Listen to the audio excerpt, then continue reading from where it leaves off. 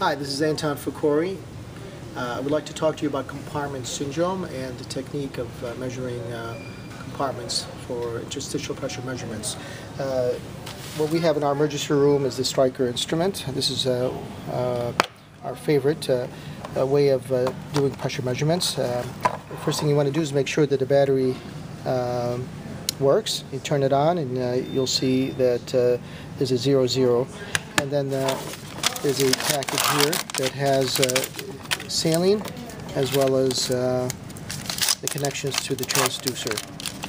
Um, so what we normally need to do is simply open it,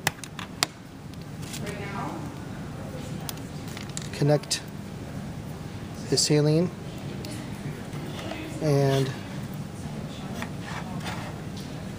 insert it onto the device as well as the needle to the transducer. Then simply close it. And then what you want to do is zero it at the point where you're about to do the pressure measurements and you, and you want to make sure there's no air in the system. So you, you saw a few droplets there and then you're ready to measure. Again, zero it right before you measure it. There are four compartments uh, in the leg, and uh, uh, at this point, we're going to measure the two most important compartments of the leg, the anterior compartment and the deep posterior compartment.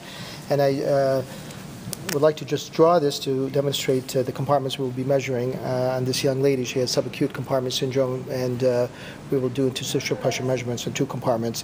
Uh, this is the tibia, and this is the fibula, and the, this is the interosseous membrane, and this is the anterior compartment, and then this is the lateral compartment and the two posterior compartment. This is the deep posterior compartment, and this is the superficial.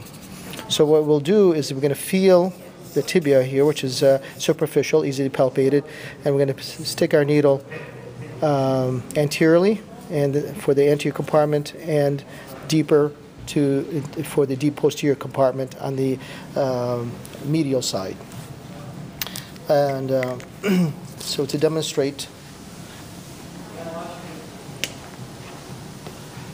here's uh, the borders of the of the tibia.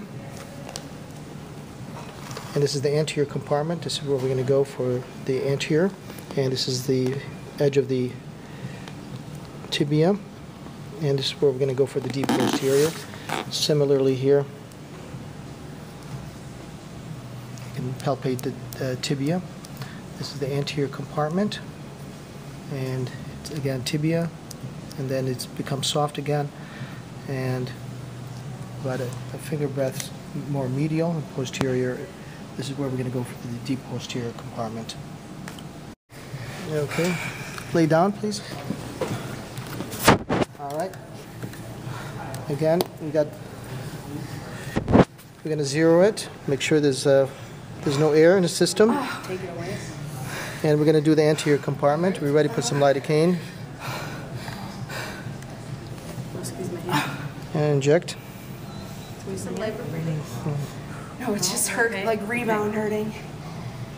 And we got about f- in the upper 30s to,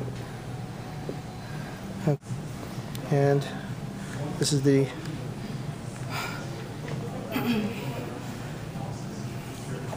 deep posterior compartment in the left leg, and it's also in the 30s, it's 35. Make sure that there's no air in the system.